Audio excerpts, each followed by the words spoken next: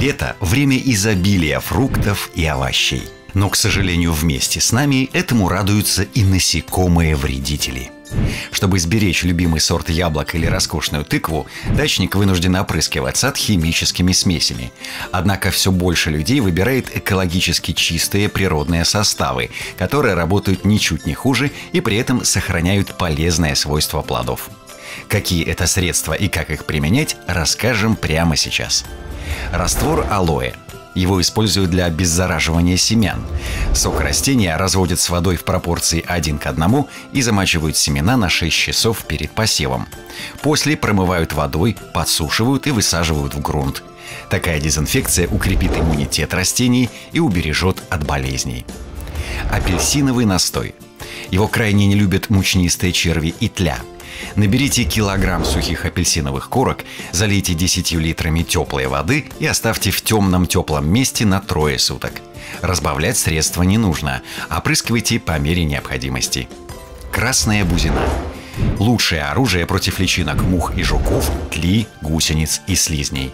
Отлично помогает в борьбе со смородиным клещом. 300 граммов измельченной бузины залить 10 литрами воды, настоять, процедить.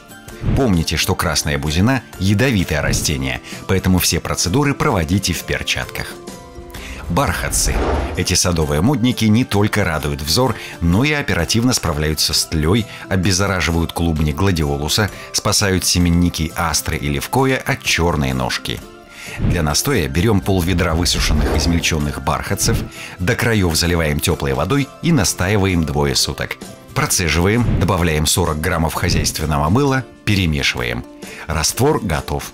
Обработку ягодников против тли начинайте до того, как ягоды начнут созревать. Горчица.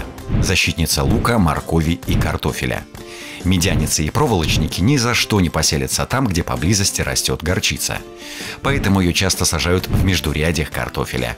А можно просто сделать суспензию, развести 6 столовых ложек в 10 литрах воды и поливать ею грядки.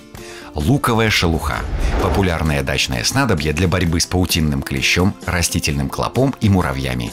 300 граммов лука с шелухой измельчить и залить водой, настоять пару дней и пользоваться сразу после процеживания.